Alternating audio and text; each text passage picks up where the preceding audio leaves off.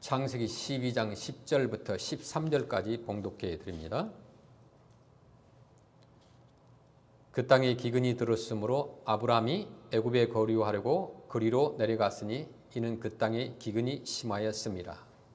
그가 애굽에 가까이 이르렀을 때에 그의 아내 사레에게 말하되 내가 알기에 그대는 아리따운 여인이라 애굽 사람이 그대를 볼 때에 이르기를 이는 아내라 하여 나는 죽이고 그대는 살리리니 원하건대 그대는 나의 누이라 하라 그러면 내가 그대로 말미암아 안전하고 내 그대로 말미암아 보존되리라 아멘.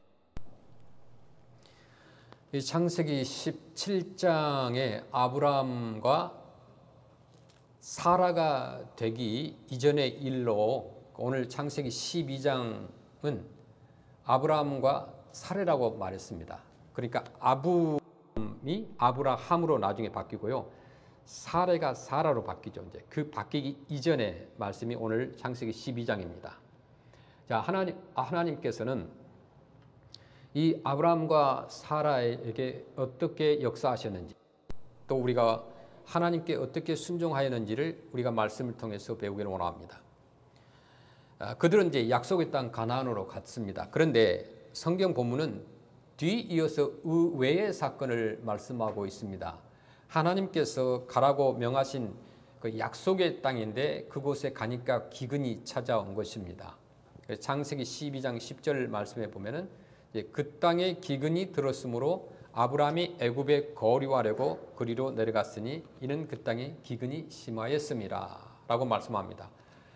아브라함이 하나님을 찾은 것이 아니라 하나님께서 아브라함을 찾아오셔서 어, 복을 주시겠다고 약속하면서 보내신 땅이었습니다. 좀 복을 달라고 아브라함이 부탁한 것도 아닙니다. 또 아브라함에게 큰 민족을 이루고 싶은 야망이 있었던 것도 아닙니다. 하나님께서 먼저 오셔서 아브라함에게 이렇게 말씀하신 거예요. 창세기 12장 2절 3절에 보니까 내가 너로 큰 민족을 이루고 내게 복을 주어 내 이름을 창대하게 하리니 너는 복이 될지라. 너를 축복하는 자에게는 내가 복을 내리고 너를 저주하는 자에게는 내가 저주하리니 땅의 모든 족속이 너로 말미암아 복을 얻을 것이라 하신지라. 아멘. 아브람은 이제 그저 그 약속을 굳게 믿고 하나님께 순종했을 뿐입니다. 그러면 가나안 땅에서 놀라운 축복이 아브라함에게 부어져야 하지 않겠습니까? 하나님께서 가라고 해서 간 땅인데. 그런데요, 약속의 땅이라고 갔는데 그곳에 갔더니 기근이 닥친 거예요. 그것도요, 목숨을 위협할 정도로 심한 기근이었습니다. 아브라함은 그냥 시킨 대로 간 것뿐이에요.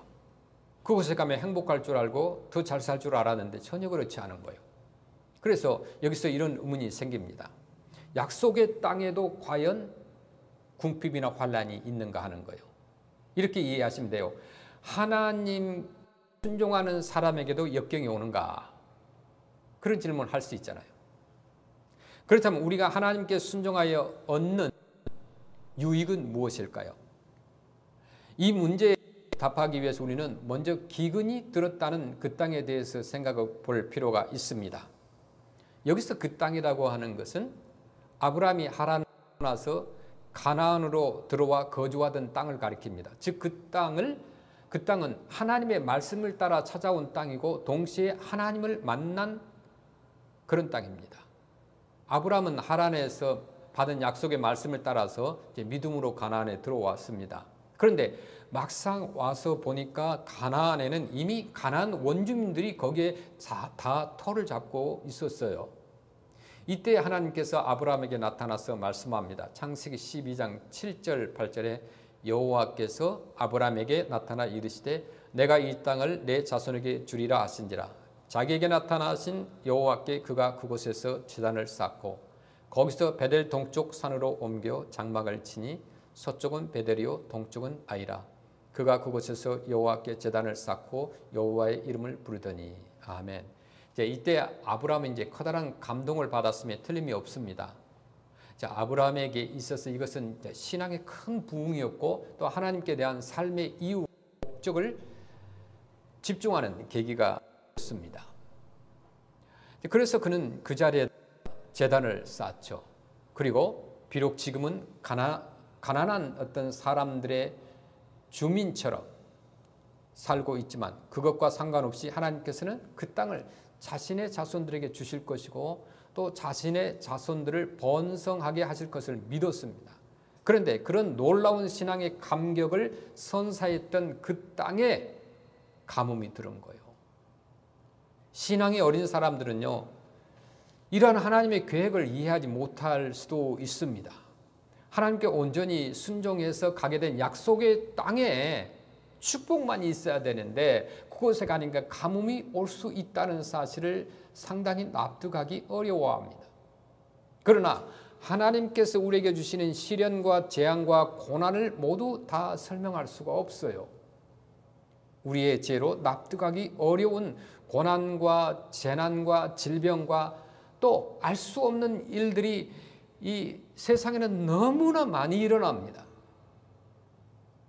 그래서 사람들은 과학을 통해서 그러한 재앙의 발생을 찾습니다.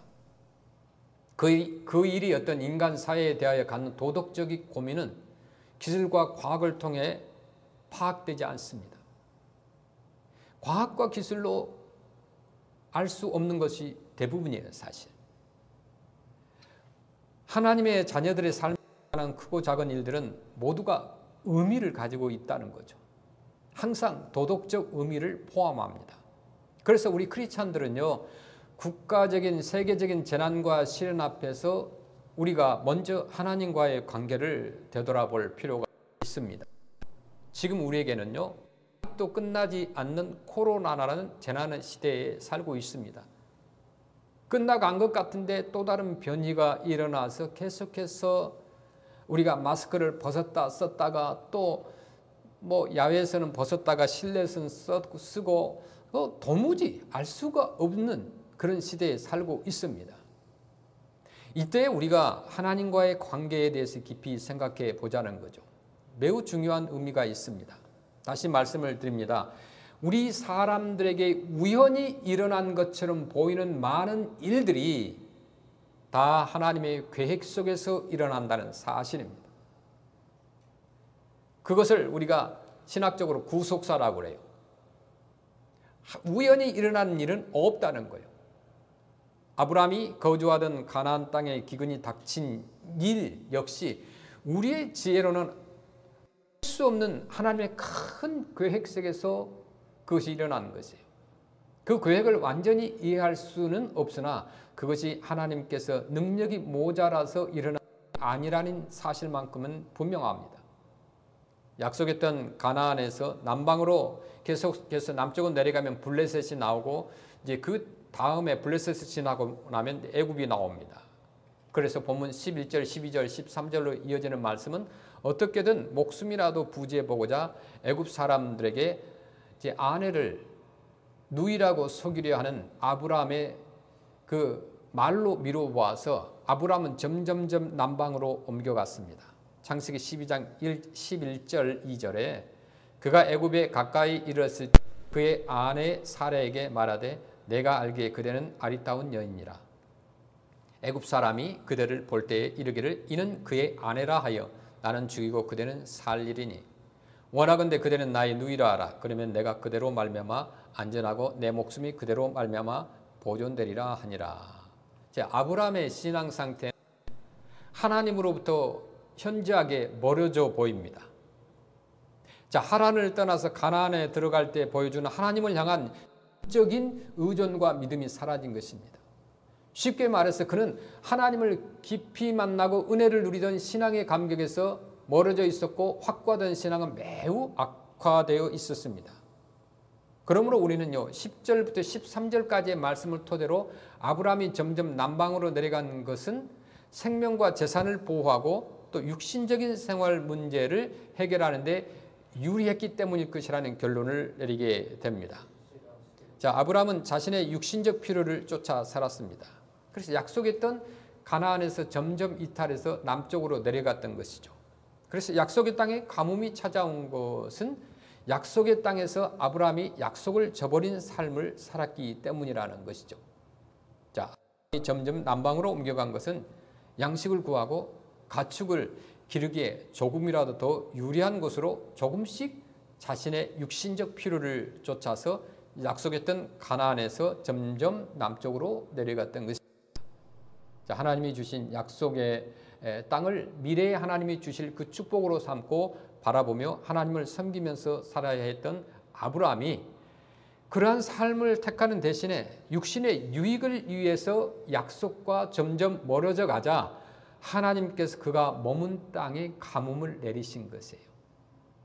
하나님의 약속을 따라 들어간 땅에 살고 있던 아브라함이 기근을 만난 것을 보고 우리가 의문이 생길 수도 있을 것입니다. 그러나 성경을 보면 기근보다 아브라함이 점점 남방으로 옮겨가는 일이 먼저 일어나는 것을 볼 수 있습니다. 자, 아브라함이 처음에는요, 하나님이 그에게 주신 명령에 순종했으나 시간이 지나면서 그 순종으로부터 이탈되었던 것이죠. 물론, 고난은 하나님께 전적으로 순종하는 사람들에게도 나타납니다.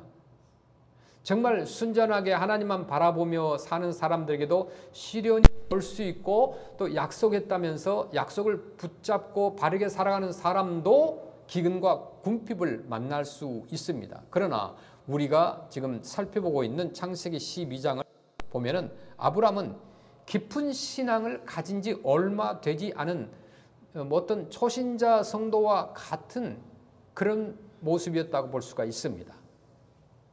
즉 그때까지만 해도 아브라함은 하나님의 오묘하고도 심오한 섭리를 이해할 만한 신앙의 인물이 아니었습니다. 아브라함의 고난은 하나님의 이해할 수 없는 섭리 속에서 만난 고난이 아니라 명백하게 아브라함이 불종으로 인하여 찾아온 고난이었다라고 말할 수 있습니다. 자, 나의 신앙이 현재 나의 신앙이 남쪽으로 즉 아브라함처럼 아래로 점점점 가고 있지 않는가 질문을 해 보시길 바랍니다. 자, 하나님께서 원하시지 않는 불순종의 방향으로 지금 혹시 가고 있지 않는가 심각하게 진지하게 한번 점검해 보셔야 됩니다. 자, 사도행전 말씀 보면 아브라함이 가나안에 들어갔을 때 정황을 이렇게 말씀하죠. 사도행전 7장 5절부터 보면 그러나 여기서 칠 만한 땅도 유업으로 주지 아니하시고 다만 이 땅을 아직 자식도 없는 그와 그의 후손에게 소유로 주신다고 약속하셨으며 하나님이 또 이같이 말씀하시되 후손이 다른 땅에서 나그네가 되리니 그 땅 사람들이 종으로 삼아 400년 동안을 괴롭게 하리라 하시고 이렇게 말씀합니다. 이러한 궁핍 속에서 이제 아브라함은 약속의 땅을 떠나 점점 남방으로 옮겨갔습니다. 저와 여러분들의 신앙은 환경을 통해서 드러납니다. 그래서 하나님은 종종 때로는 우리 신자들의 환경을 우리의 믿음을 가늠하는 어, 기준으로 그 환경을 사용하시기도 한다는 거예요.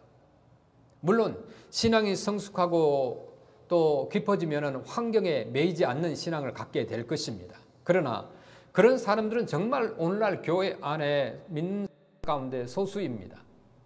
커다란 시련을 만나고 심지어 자신의 몸에 커다란 어떤 알 수 없는 질병을 만나고 고칠 수 없는 질병을 만나고 오히려 하나님을 찬송할 만한 믿음을 가진 사람들은 그리 많지 않아요. 그래서 환경은 대부분의 사람들에게 그대의 신앙을 여실하게 드러내는 기준이 된다는 거죠. 다 여러분의 삶은 어떻습니까? 평안할 때는 특별한 갈등 없이 우리가 신앙생활하고 교회 출석도 하고 선교도 하고 헌금도 하고 뭐 봉사도 하고 그렇게 합니다. 좋은 믿음을 가진 사람처럼 살아갑니다. 그러나 이제껏 경험해 본 적이 없는 커다란 환란을 우리가 만났을 때 정말 순전하게 변함없이 하나님을 바라볼 자신이 있는가? 이렇게 질문해 보아야 돼요. 정말 의지할 만한 것이 하나도 없는 힘든 모든 상황 속에서도 그때에도 하나님을 원망하지 않을 수가 있는가? 언제나 우리는 자기 자신 편이에요. 여러분 누구 편일까요? 여러분 자신 편이에요. 아무리 공평하려고 해도 남에게는 정말 야박하고 자신에게는 관대한 것이 인간의 본성이에요. 숨길 수 없는 거예요. 저 역시 마찬가지예요. 한 인간이기 때문에. 그래서 때로는 하나님의 공정한 판단보다도 더 후하게 내 자신을 평가하기도 합니다. 그래서 하나님 우리의 믿음이 어디까지 와 있는지 스스로 객관적으로 확인하게 하기 위해서 가끔은 우리의 삶 속에서 시련과 또 환란을 주시기도 한다는 거죠. 이것은 우리의 정직한 상태를 주심으로써 우리 하나님 앞에 교만을 깨뜨리고 하나님을 더 의지하게 하려 하심이라는 것을 믿길 바랍니다. 우리는 우리에게 닥친 환경적인 어려움을 통해서 비로소 그때에 우리의 믿음이 우리가 생각한 것처럼 진실하고 깊지 않는다는 것을 깨닫게 돼요. 아브라함에게도 환경적인 어려움은요 자신의 영적 상태를 드러내는 기준이었습니다. 그때 이제 자기가 머무는 곳에 가뭄을 만나자 이제 아브라함은 하나님의 약속을 더 이상 신뢰하지 않고 어떻게 했어요? 애굽으로 이주했어요. 그리고 하나님을 믿는 대신에 사람을 두려워하고 인간의 꾀로 지혜로 살기를 도모했습니다. 아브라함의 불신앙은 두 가지 행동을 통해서 구체적으로 드러났는데 바로 약속의 땅을 떠난 것과 또 인간의 궤를 쫓아 자기 아내의 사례를 누이라고 소개한 것입니다. 아브라함이 약속한 땅을 버리고 갈 때 우르나 하란으로 되돌아간 것은 아니었어요. 그는 그저 서서히 남방으로 내려갔을 뿐입니다. 자, 이것은 육신의 안목을 따라가는 불신앙이었습니다.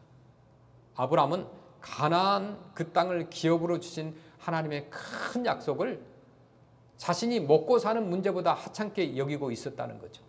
쉽게 말해서 먹고 사는 일에 눈이 멀어서 하나님의 약속을 하나님의 축복을 헌식 헌신짝처럼 내팽개쳐 버린 거예요. 세월이 아무리 흘러도 변하지 않는 신앙의 원칙이 있습니다. 그것이 무엇이냐면 바로 하나님은 결코 하나님을 사랑하는 사람들을 버리시지 않는다는 거예요. 그래서 인격적으로 하나님을 신뢰하고 경건한 삶 속에서 하나님께로 향한 불붙는 사랑을 경험하며 날마다 하나님을 향한 사랑을 검증하며 살아가는 사람들이 있습니다. 그런 사람들은 커다란 재앙이 찾아와도 오히려 그것 때문에 하나님의 품으로 더 깊이 파고듭니다. 그래서 환란이 하나님을 찾는 기회가 되고 커다란 시련이 하나님의 사랑을 더 많이 깨닫는 계기가 된다는 거죠. 그러나 마음에서 하나님을 향한 인격적인 사랑이 사라지고 기도와 말씀 속에서 하나님과 마주하며 은혜를 받는 영적 생활이, 생활이 사라진 사람들에게 시련은 그나마 껍질만 남아있던 신앙을 송두리째 무너뜨리는 강력한 영향력을 발휘합니다. 믿음으로 눈이 감겹게 보이는 육신의 눈으로만 모든 것을 판단하고 그 결과 하나님을 오히려 불신하게 되는 거죠. 그러므로 우리 신앙의 두께는요, 내가 얼마나 신앙이 있느냐 그 두께는 궁핍한 날이 환란이 나에게 다가오면 드러나게 되는 거죠. 작은 시련에도 부서지는 얄팍한 믿음인지 아니면 폭풍 같은 환란이 닥쳐도 끄덕없는 견고한 믿음인지 다 드러나게 돼 있어요. 오늘날에도 많은 사람이 남방으로 내려간 아브라함과 같은 선택을 하며 살아갑니다. 사실 한편으로는 아브라함의 선택에 이해가 됩니다. 좀 더 더 좋은 목초지 혹은 쉽게 물건을 거래할 수 있는 좀 큰 도시 아니면 편안하게 살 수 있는 곳을 찾아가는 것은 당연한 선택입니다. 더욱이 하나님은 가나안 땅을 아브라함에게 주겠다고 약속한 것이 아니라 그의 자손에게 주겠다고 약속하셨습니다. 어디를 가든 좋은 땅에는 사람이 이미 터를 잡고 살고 있었어요. 그러니까 아브라함이 장막을 칠 수 있는 곳은 정말 황폐해서 원주민 그들조차도 차지하지 않는 황량한 들판이었습니다. 따라서 살아가기에 좀 더 더 좋은 조건을 찾아서 남방으로 내려간 것은 인간적으로 이해가 됩니다. 그러나 아브라함은요 하나님의 사람이었어요. 하나님의 사람은 그렇게 살아서는 절대로 안 됩니다. 약속의 땅을 떠나서 누리는 번영은 약속의 땅에서 받는 고난보다 못한다는 거요. 왜냐하면 약속의 땅을 떠나서 누리는 그 부요함은 하나님이 없는 부요함이지만은 약속의 땅에서 받는 시련은 하나님이 함께 하시는 시련이기 때문에 그런 거예요. 우리 크리스천들은 하나님 없이 좋은 길을 걷기보다는 하나님과 함께 가시밭과 좋은 길을 걷는 것을 더욱 기뻐하는 사람들이라는 것을 명심하시길 바랍니다. 이것이 하나님의 약속을 받은 언약의 백성들이 살아가는 모습입니다. 진실한 크리스찬들은 하나님과 함께 거룩해지고 싶어 하는 거예요. 진실한 크리스찬들은 하나님을 보여주는 삶을 살고 싶어 합니다. 더구나 아브라함에게 약속의 말씀을 주신 하나님은 전능하신 하나님입니다. 하나님께서 아브라함이 이제 가나안 땅에서 이제 형통하게 살아갈 수 있게 하실 만한 능력이 없는 분이 아니잖아요. 하나님의 능력은 셀 수 없고 차고도 넘칩니다. 아브라함은 자신의 판단보다는 하나님의 약속을 더욱 믿어야 했습니다. 설령 궁핍을 당한다 할지라도 하나님께서 자신에게 주신 위대한 약속의 성취를 위해서 감당해야 하는 시련이라고 생각하고 하나님께서 명한 대로 가난을 지키는 것이 마땅했습니다. 그러나 아브라함은 그렇게 하지 못했습니다. 그의 마음이 하나님을 만난 그 감격과 사랑으로부터 멀어졌기 때문이에요. 자, 아브라함이 보여준 불신앙은 여기에 그치지 않습니다. 그는 사람의 꾀를 따라서 아내 사례를 루이라고 사람들에게 거짓말을 했습니다. 그 아내가 누구입니까? 하나님께서는 아브라함을 통해서 큰 민족을 이루겠다는 약속을 주실 때 함께하던 아내입니다. 하나님의 말씀을 따라서 하나님을 떠나 가난으로 들어올 때 동행한 아내예요. 가난을 땅을 물려받을 어, 자손을 함께 낳아서 길을 소중한 아내입니다. 그런데 그런 아내가 창세기 12장 13절에 보니까 원하건대 그대는 나의 누이라 하라. 그러면 내가 그대로 말미암아 안전하고 내 목숨이 그대로 말미암아 보존되리라 하니라. 하나님의 사람은 하나님의 손에 붙들려 있을 때만 하나님의 사람이지 하나님의 은혜가 그 안에서 사라지고 하나님께서 그 손을 놓으시면 악하고 타락한 한 인간인 죄인에 불과하다는 거죠. 오늘날 우리 크리스찬들도 마찬가지입니다. 우리가 하나님의 자녀임에도 불구하고 정말 부도덕하고 추한 죄악들을 많이 짓습니다. 겉으로 드러나는 죄뿐만 아니라 마음으로도 얼마나 죄를 짓는지 몰라요. 하나님을 만나지 못한 이름뿐인 크리스찬도 있고 한때는 하나님을 열렬하게 사랑했던 사람들도 수없이 있습니다. 우리 크리스찬들이 불순종하기 시작하면 더욱 무섭게 악을 행하는 것을 볼 수 있습니다. 그런데 하나님을 만나고 은혜를 누리던 사람들이 왜 그렇게 타락하게 될까요? 그 이유는 자신을 날마다 깨뜨리면서 살지 않기 때문이라는 거예요. 한번 은혜를 받았다고 영원히 그 은혜가 유지되는 것은 아닙니다. 순간 화를 쏟아내는 성품이 나오는 것이 우리의 본 모습이에요. 즉 그럴 때마다 날마다 그러한 자신의 본성을 직시하며 하나님 은혜의 강물 속으로 더욱 깊이 파고 들어가야 합니다. 그래야 우리 크리스찬이라는 이름이 부끄럽지 않은 삶을 살 수가 있다는 거죠. 저는 지금까지 목회하면서 한국에서와 또 미국에 와서 사역을 하면서 수많은 사람들을 만났습니다. 별별 사람들을 다 만나요. 좋은 사람, 나쁜 사람, 부자, 가난한 사람, 학식 있는 사람, 없는 사람. 정말 저를 가슴 아프게 하는 사람도 만났습니다. 너무나 어리석게도 어떤 사람은 교회에 큰 손을 끼치고 정말 사람들을 시험 들게 하는 사람도 만났습니다. 그런데 이상한 것은 그런 사람들을 향해서 원망의 마음이 생겨도 그렇게 미운 사람이 예배를 드리면서 정말 진심으로 거짓이 아닌 어떤 악어의 눈물이 아닌 애통하는 정직한 회개의 눈물을 한없이 쏟는 모습을 보면 원망하는 마음이 저절로 다 녹아지게 되더라고요. 부족한 한 인간인 목사인 제 마음이 그런데 하나님의 마음이 어떻겠느냐 이거예요. 똑똑하고 회개하지 않는 사람보다 좀 부족하지만 회개할 줄 아는 사람이 훨씬 더 희망이 있는 인생입니다. 그렇게 회개하는 과정에서 그는 하나님을 더 많이 알아더 순전한 존재로 신앙의 인격이 성숙해질 것이기 때문에 그렇습니다. 신앙생활이라는 것은 하나님의 은혜 속에서 끊임없이 깨어지고 조금씩 그분 곁으로 나아가는 것이에요. 물론 어떤 사람은 하나님이 기다려 주셔도 아무 진보 없이 제자리 걸음만 하기도 합니다. 1년, 10년이 가도 제자리 걸음이에요. 그러나 깨어짐이 있는 사람은 지금 아무리 그 사람이 좀 한심해 보이고 부족해 보일지라도 하나님의 사랑 속에서 조금씩 조금씩 변화되어 가는 걸 봅니다. 그런데 안타깝게도 창세기 12장에 이 아브라함에게는 그런 깨어짐이 없어요. 깨어짐이 없는 사람이 큰 시내를 만나게 되면 어떻게 돼요? 세속주의로 돌아갑니다. 아브라함이 역시 그랬어요. 그래서 하나님을 의지하는 대신에 사람의 괴를 쫓아 위기를 모면해 보려고 했다는 거예요.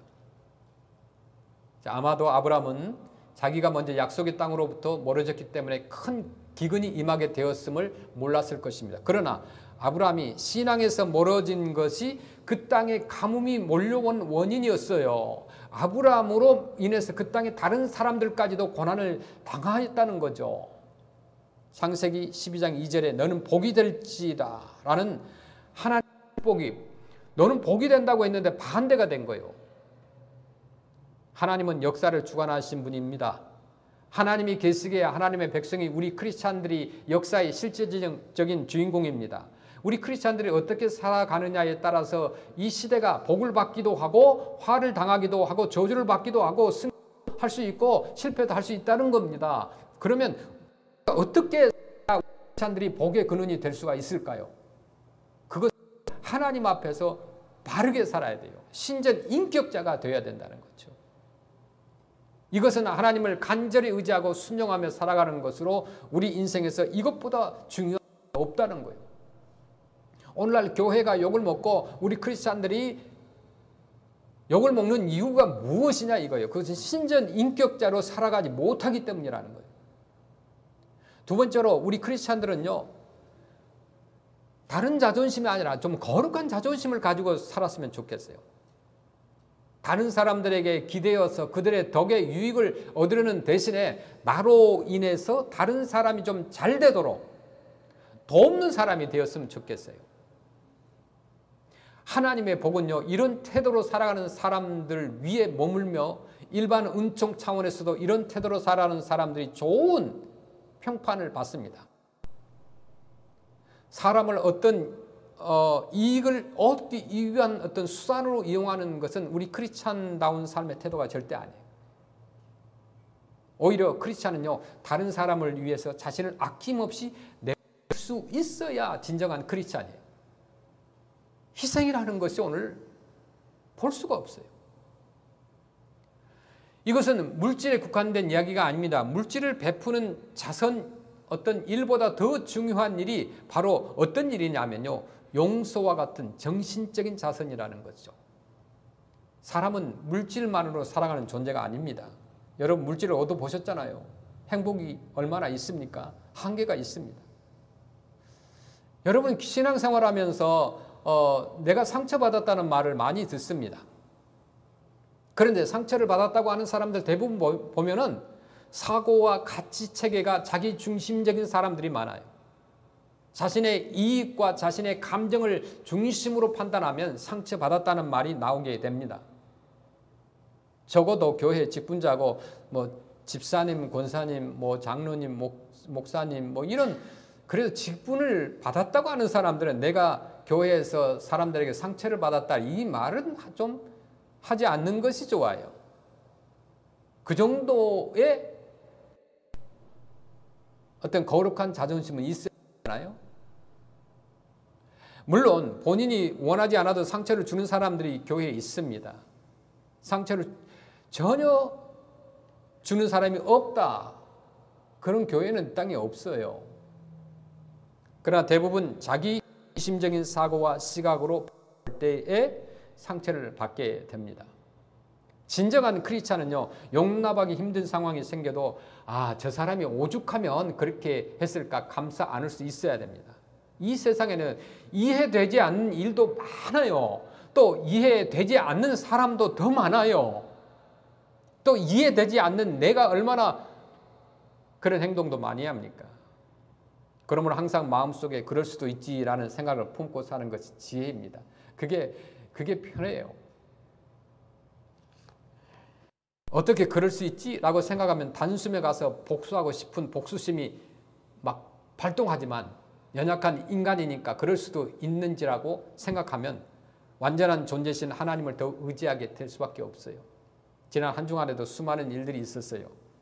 도저히 이해할 수 없는 일들이 있었어요. 그래서 제 아내한테 연락을 했어요. 야, 이거 이럴 수가 있을까? 제 마음을 털어놨어요. 그랬더니 그래서 불쌍하니까 더 기도해야죠. 돌아오는 것은 저에게 이렇게 위로해주고 내 편을 드는 것이 아니라 그렇게 하자는 거죠.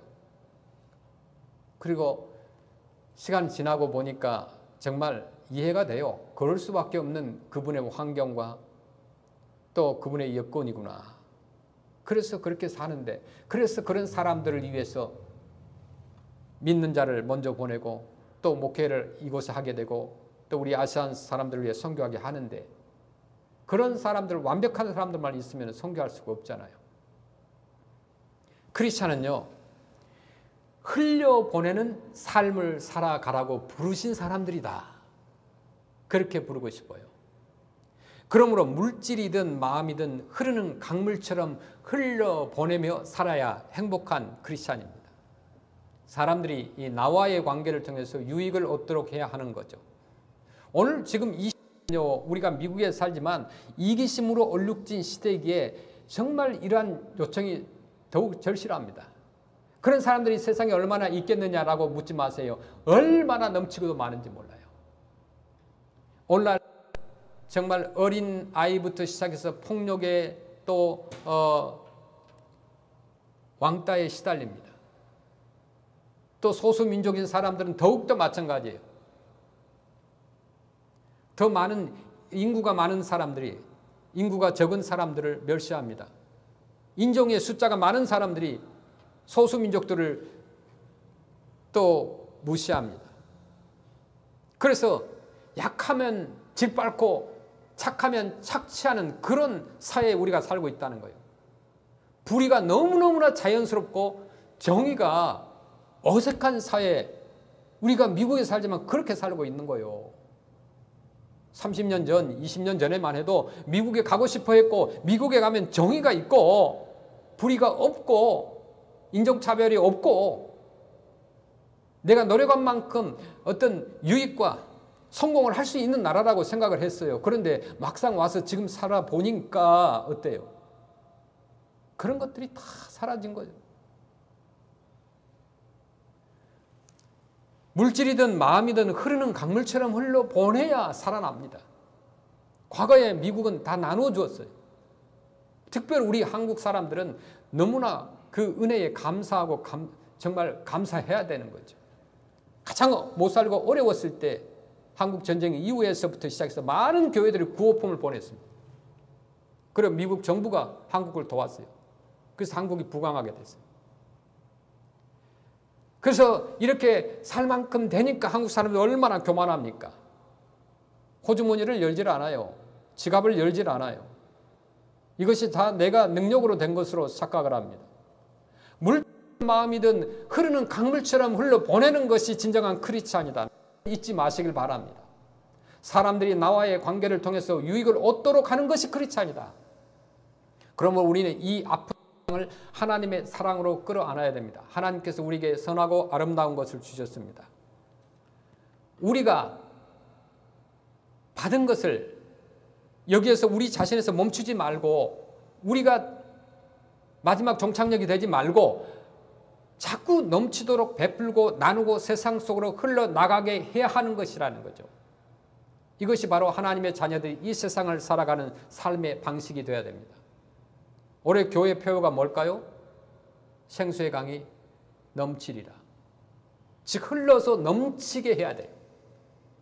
하나님의 은혜로부터 멀어진 사람은 자기에게만 집중하지만 하나님의 은혜를 받은 사람은 자신도 사랑하고 다른 사람에게도 집중합니다. 그래서 하나님의 큰 사랑을 나와 관련된 다른 사람들도 누릴 수 있도록 하나님이 내게 주신 많은 것들을 흘러보내는 것, 그리고 그렇게 흘러보내면 하나님 만이 채워 주실 줄로 믿는 것, 이것이 바로 우리 크리스찬들의 신앙이죠. 우리는 매주 금요일과 토요일에 이웃과 아시안과 우리 몽족과 캄보디안 또 이쪽에 아시안 사람들, 라오스 사람들 그런 사람들 위해서 우리가 선교를 하면서 또 특별히 하나님께서 풍성한 것으로 채워주셔요. 야채와 이 사노킹 밸리에서 나오는 과일과 하나님께서 그때마다 주신 것을 나누고 있어요. 무엇을 하나님께서 금지해 주실지 몰라요. 얼마를 주실지 몰라요. 다만 기도할 뿐이에요. 그런데 하나님께서 그때마다 한 번도 쉬지 않고 우리에게 풍성한 것을 채워주시고 그것을 나누게 하십니다. 정말 하나님의 기적이에요.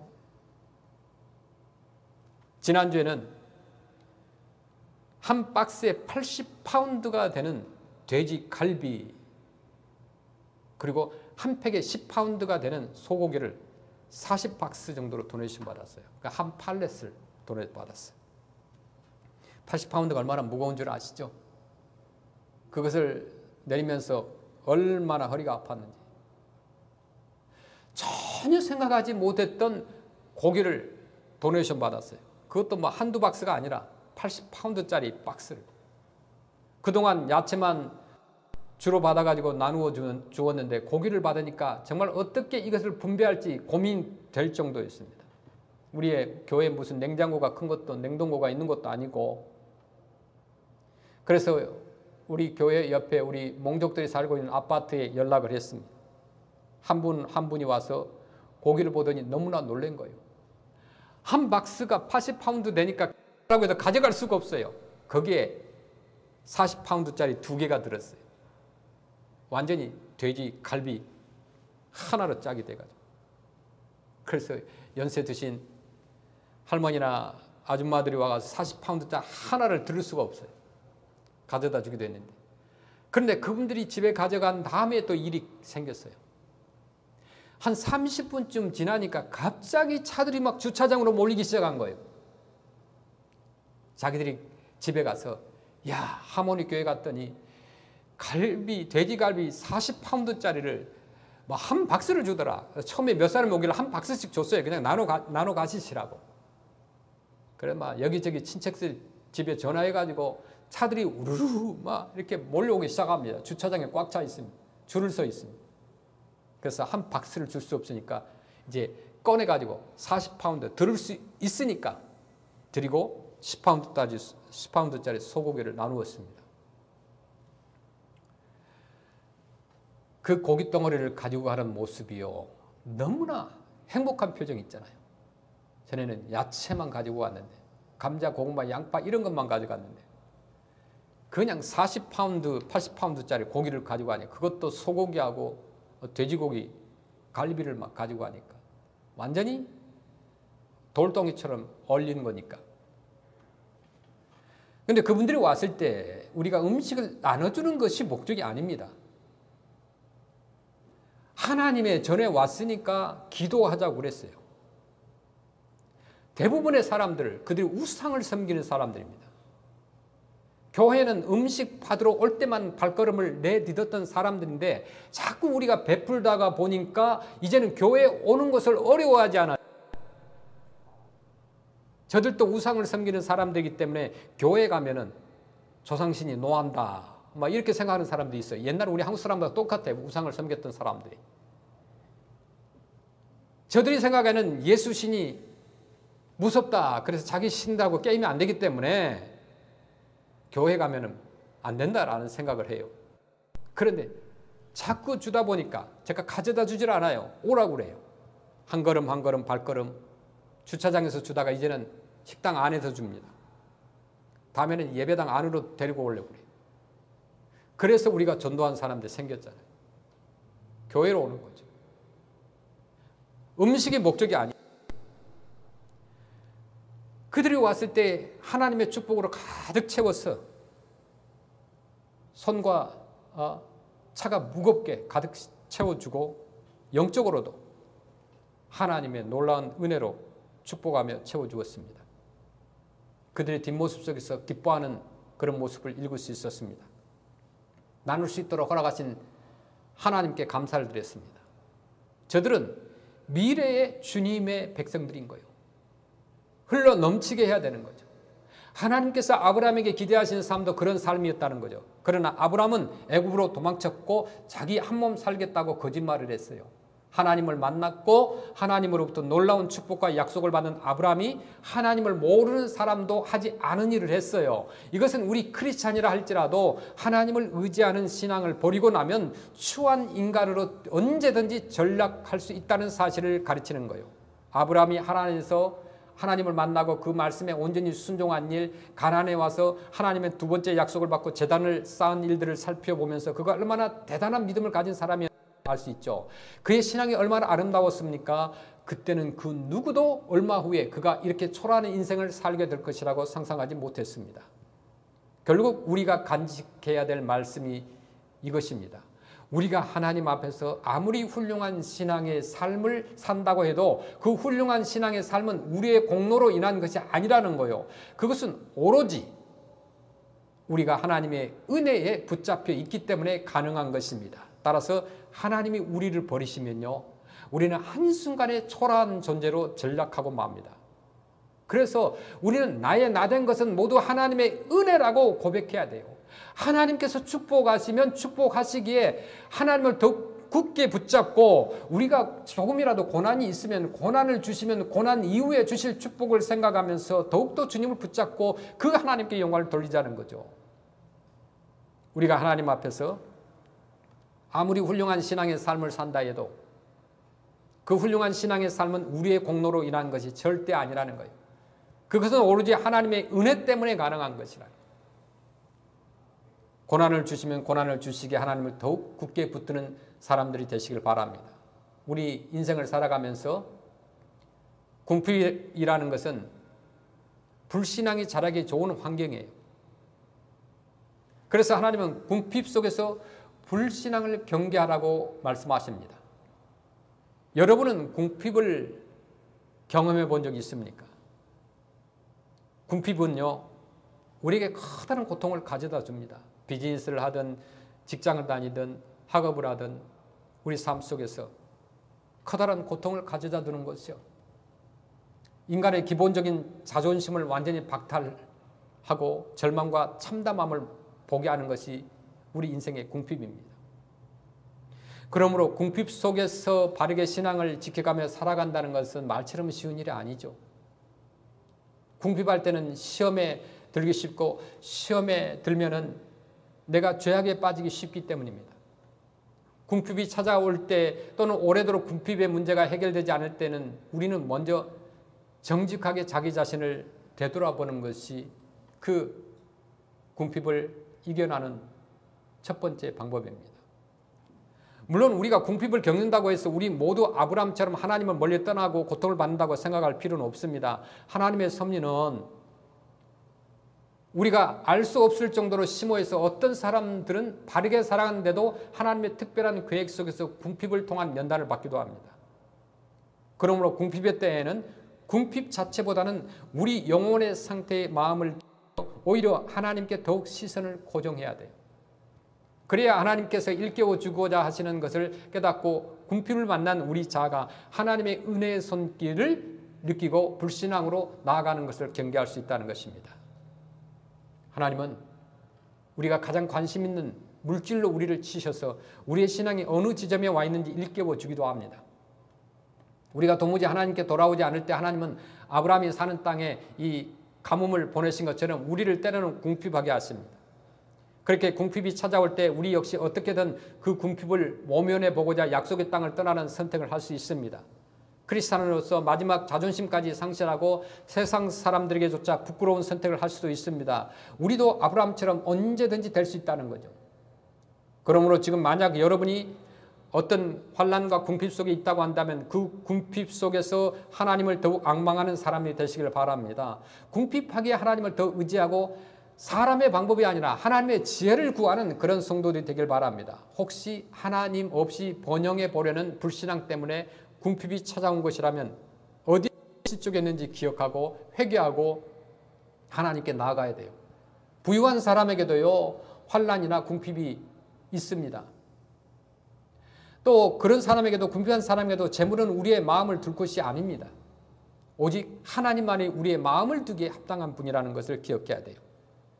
디모데전서 6장 17절 말씀 보시면 내가 이 세대에서 부한 자들을 명하여 마음을 높이지 말고 정함이 없는 재물에 소망을 두지 말고 오직 우리에게 모든 것을 후히 주사 누리게 하시는 하나님께 두며 아멘.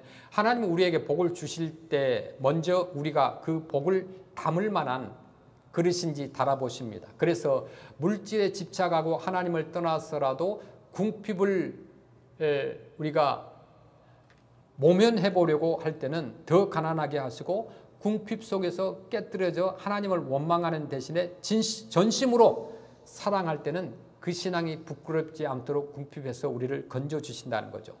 그러므로, 그러므로 우리가 삶을 살아갈 때 궁핍이 찾아왔을 때 궁핍을 주셨기에 오히려 또 간절히 하나님께 매달리는 사람이 지혜로운 하나님의 축복의 사람이라는 거예요. 지금 궁핍은 물질뿐만 아니라 정신적인 또는 가족 안에서 문제도 궁핍이 될 수 있습니다.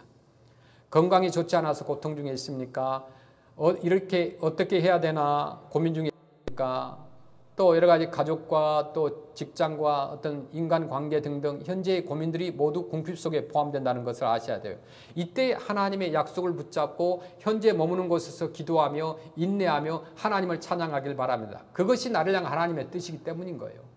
하나님께서는 내가 뭔가를 잘하면 나의 기도를 주신, 들어주시는 것이 아니라 나의 있는 모습 그대로를 사랑해 주시는다는 거예요. 하나님 안에서 마침내 아브라함은 열국의 아버지로서 축복의 삶을 살았습니다. 이 모든 상황 속에서도 저와 여러분이 하나님께 신령과 진정한 정직한 예배를 드리는 하나님을 찬양하는 그런 믿음의 백성들이 되시기를 주의 이름으로 간절히 축원합니다.